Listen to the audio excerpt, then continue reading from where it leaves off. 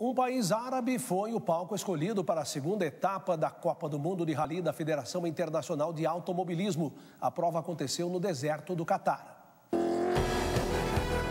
O piloto Nasser Al-Attiyah acelerou fundo o Toyota nas dunas de Abu Dhabi.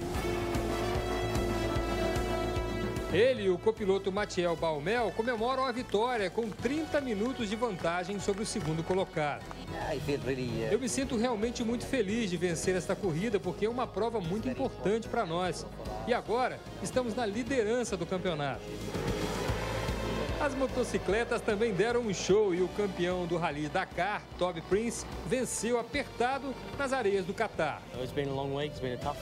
Foi muito difícil chegar na frente, os caras são de alto nível. Por isso é muito bom sair daqui com uma vitória conquistada com muita luta.